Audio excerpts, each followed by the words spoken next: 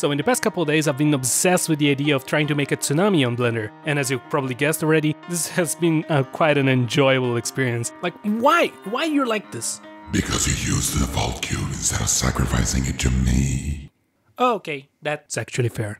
Basically, for doing the tsunami, I needed a way to not have to simulate the whole ocean, just the interactions of the ocean with land. I'll explain it better on the tsunami tutorial, if I ever finish the tsunami tutorial, but I use the ocean modifier for the bulk of the ocean simulation thing, easy enough. But doing the actual wave was way more complicated. I tried to use the wave modifier like any sane person would try, right? But it doesn't work for this case, because there's a lot of like tiny values and stuff, and it's quite limited, honestly. You can't animate the shape of the wave very well, and I tried a lot of things. I tried like putting drivers into the values and uh, tried to calculate them over time, and I tried to like use an animated displacement map, and then it clicked for me why am I using wave modifier when I could use the curve modifier and just draw the shape of the wave with a curve and then use curve shape keys to animate the curve over time. So that's that's it. You can use the curve modifier instead of the wave modifier and just animate the curve going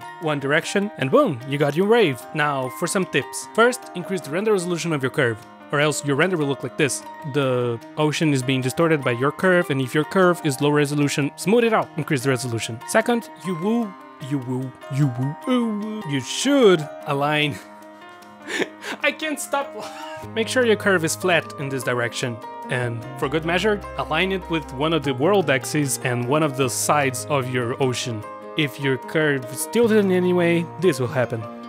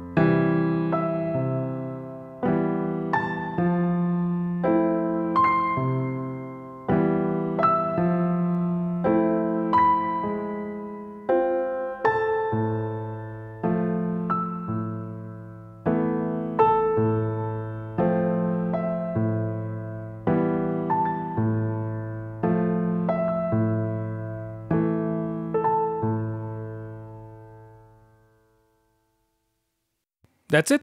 If you liked this video, give it a like. If you disliked it, well, I'm sorry YouTube recommended this. But hey, don't forget to tell me in the comments that you already knew everything I said and I am doing a tutorial on something that everyone knows. And also subscribe because there might be a tutorial about doing a tsunami as soon as, as I figure out how to do a tsunami and also edit the video because it's, it, it's gonna take a while.